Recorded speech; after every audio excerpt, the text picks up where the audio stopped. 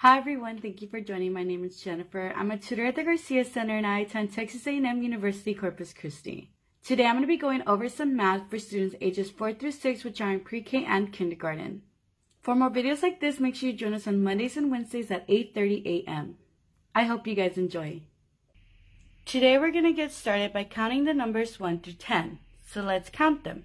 We have 1, 2, 3, 4, 5, 6, 7, 8, 9, 10.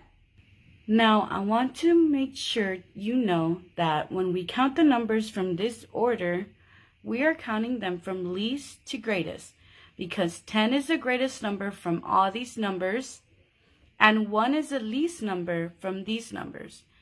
So counting them from 1 to 10 is going from least to greatest. Here we have five numbers. We have the number 6, the number 3, the number 1, 8, and 5. And we want to put them from least to greatest. So let's look at the numbers.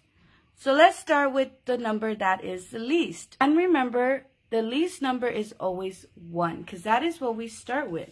So we have the least is 1. So what would go after 1? Would it be 6, 3, 8, or 5? That would be 3 because that's the next least number. Now, what would go after 3? Would it be 6, 8, or 5? It would be the number 5. Now, if we look at these two, we have 6 and 8. Which one is greater? 8. So this one stays here. And this would be the order for least to greatest.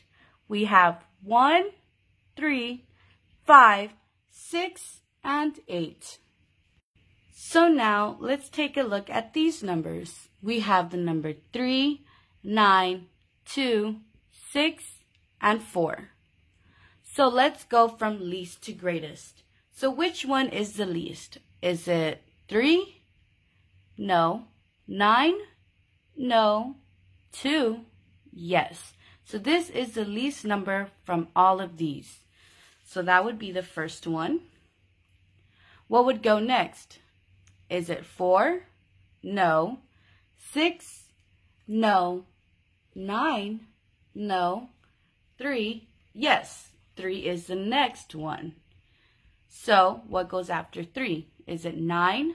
No. 6? No. Four? Yes. So it would go like this. Two, three, four. What's next? Is it nine or six? It would be six because nine is the greatest number from these. So this would be the order for least to greatest for these numbers. Now let's take a look at these numbers.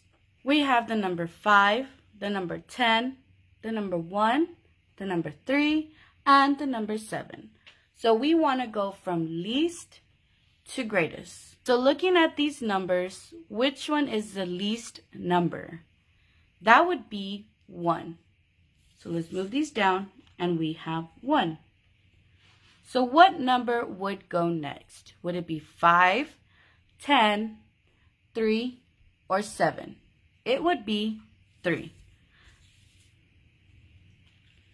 Now, which number goes next? Is it 5, 10, or 7? It is 5. What do you think would go after 5? Is it 10 or 7? It would be 7 because 10 is greater than 7. So this is what the order would be from least to greatest. We have 1, 3, 5, 7, and 10. That's all I have for you today. And remember, for more videos like this, join us on Mondays and Wednesdays. If you have any questions regarding the problems I went over, feel free to ask them on the comments below.